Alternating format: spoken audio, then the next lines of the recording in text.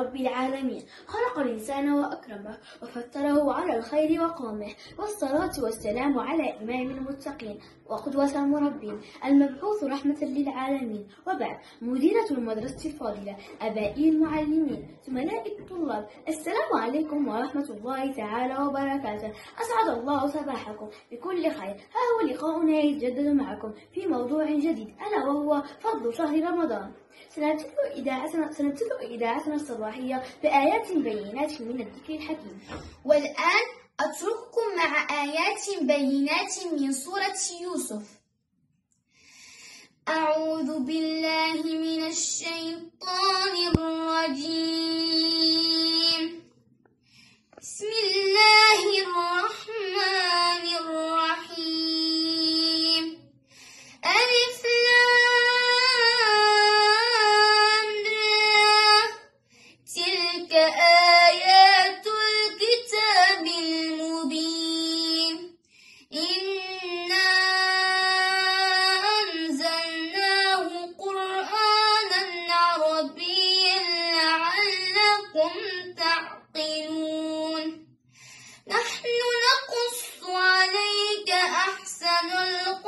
بما أوحينا إليك.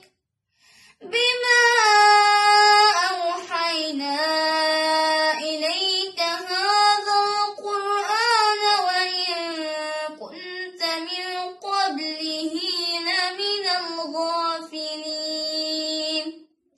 إذ قال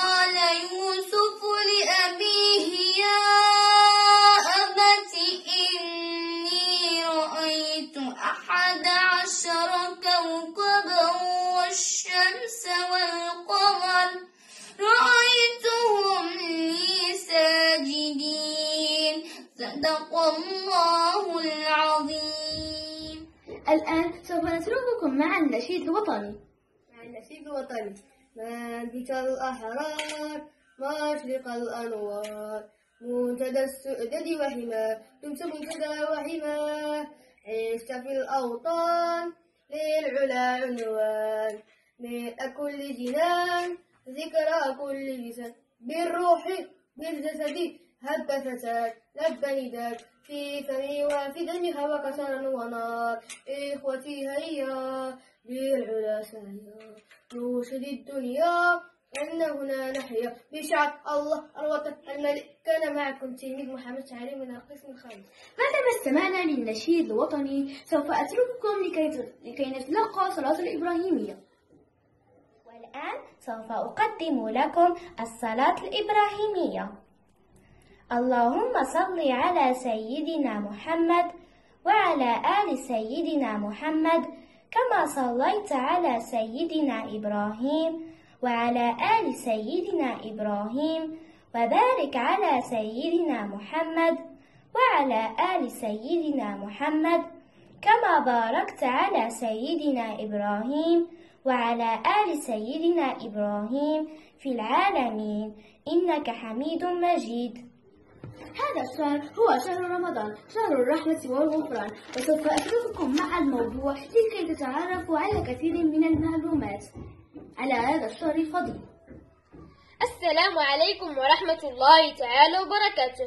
ما دمنا نعيش هذه الأيام أجواء شهر رمضان المبارك فلا بأس أن نتشارك بعض قيمه الجميلة. إن شهر رمضان هو الشهر الذي أنزل فيه القرآن الكريم. وخص الله سبحانه وتعالى شهر رمضان من بين الأشهر بفضائل كثيرة.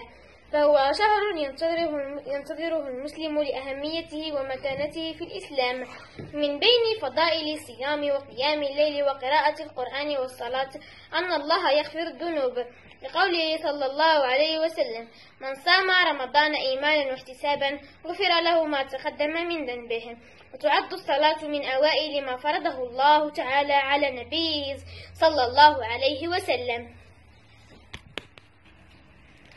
حيث قال الله تعالى كل عمل ابن آدم يضاعف الحسنة بعشر أمثالها إلى سبعمائة ضعف وقال الله عز وجل إلا الصوم فإنه لي وأنا أجزي به ولا ننسى ذكر أعظم ليلة ميزها الله في هذا الشهر قال رسول الله صلى الله عليه وسلم إن هذا الشهر قد حضركم فيه ليلة خير من ألف شهر. من حرمها فقد حرم الخير كله ولا يحرم خيرها إلا محروم. وشكرا. الختام كما نعلم جميعا. رمضان هو شهر الخير والبركة وهو زينة الشهور جميعها. ففيه تتجمع العبادات ويصبح لها نكهة إيمانية مميزة. فالمسلمون يقضون النهار كله صائمين من طلوع الفجر إلى غروب الشمس ويصلون صلواتهم في الوقت بنية التقرب من الله تعالى. كما أننا نتلو آيات من الذكر الحكيم فالله يغفر الذنوب في هذا الشهر المبارك ويضاعف أجر المحسنين. فتقبل الله منا ومنكم صالح الآمال كان معكم تلاميذ المستوى الخامس ابتدائي. في التقديم آية سياح في الموضوع زكريا مخلوق وفي النشيد الوطني سعيد محمد. وأما بالقرآن الكريم سارة الرحموني وأما في الصلاة الإبراهيمية هبة بتوشي تحت إشراف الأستاذة آه، إكرام زوجل. شكرا.